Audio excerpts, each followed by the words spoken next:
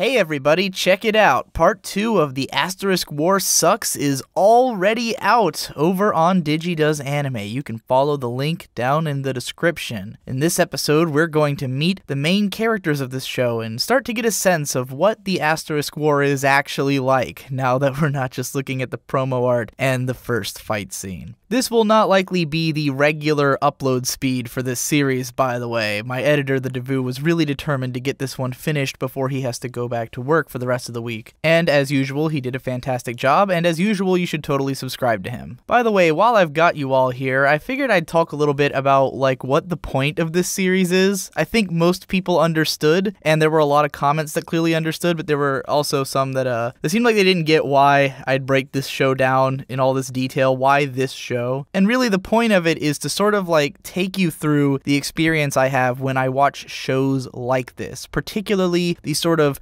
really generic high school harem action shows that are very often made by Studio A1 Pictures. And like, it's a studio that I have like a really big issue with. You know, I, I've despised a lot of their shows. And this show has like almost all the problems that I have with this type of show. It has everything that I dislike about A1 Pictures shows shows. It has almost everything that I dislike about like high school harem action shows. So I'm sort of using this show as a lens through which to view both the genre and the studio and anime in general. Just almost everything that I don't like in anime is in this show. So it makes for a great case study to break down all the problems that anime is capable of having. You could say that if my Evangelion videos are like looking at a show that does so much right and then breaking down like all the interesting things that it does right that set it apart from other shows, this is me looking at every way that a show can fail and breaking down all of the problems that a show can have. So it's sort of the flip side of the coin, if you will. And that's the purpose of it, and that will become more apparent as it continues, and I'm glad that we got part two out so quickly quickly so we can sort of get to the point quickly and have people understand what this is going to be like. Because by the time we get to part four, it's going to get a lot more broad and not just be like me going through minute by minute, which is why this is not this is not in the style of your movie sucks. People were asking, is this another your anime sucks video like I did with Sword Art Online? And it's not like that. That was deliberately made to be a your movie sucks parody. This is more of me trying to take this show and again explore everything that's wrong with anime. So it's not really so much just about the asterisk war. And from here, I might branch off and into uh, other related things, but we'll we won't get ahead of ourselves here.